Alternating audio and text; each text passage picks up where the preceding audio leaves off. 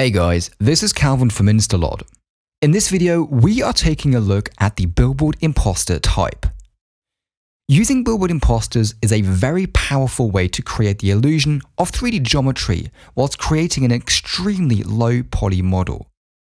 This illusion is generated by baking the object details and material parameters into textures such as the normal, roughness, and metalness maps.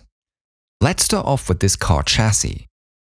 If we know that we are never going to get up close to this model or rotate around it, using a billboard imposter is the perfect solution. I will start off with a single billboard on the XY axes.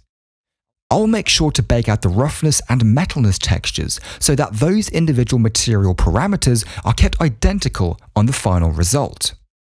I will finish things off by reducing the texture size to 1K as this will be more than enough to capture all of the detail that we need when viewed from a distance. With this done, we can click Start and let InstaLOD process the model. Once done, we can see that the model visually hasn't changed, and even getting up close results in a convincing visual result. However, when rotating around the model, we can see that we have generated a flat billboard mesh. Before we move on, let's have a quick look at some of the settings. The padding is responsible for the distance between the edge of the texture and the edge of the billboard. If we go ahead and increase this padding, we can see how we now have space between the car and the edge of the mesh. The gutter size in pixel works in UV space and specifies the minimum distance between individual UV shells. So right now, for example, we can see that the shells are quite close together. So increasing this will spread them apart, which can remove potential mip-map bleeding. With the axes settings, we can add multiple billboards per axis to achieve any angle that you might require. Two-sided quads is enabled by default and makes sure that both sides of the object are baked out. However, if only one side is required, you can disable this to reduce the polygon count and texture size needed. Whilst subdivisions can be added if needed on the U and V axes, the alpha cutout feature allows users to cut around the object to remove as much alpha area as possible to optimize the rendering performance.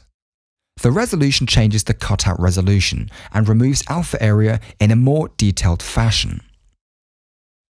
Now that we have had an overview of the settings, let's look at another use case where billboard imposters are used a lot which is with foliage. In 3D, plants are typically made up of individual planes with textures applied to them to give the illusion of more detail. Unfortunately, optimizing meshes like these using traditional optimization techniques is not a viable solution, as removing vertices from these texture planes results in the mesh getting thinned out, which can be seen even from a distance. Therefore, billboard imposters are typically used for distant LODs. We can create multiple billboards on different axes if required. As we can see in the final result, this can create a nice illusion of parallax which can work from a distance. However, from up close, this solution is still not convincing. This is where we can use other imposter types, like the hybrid billboard cloud imposter, to create beautiful illusions which is what I will show you in the next video of this series.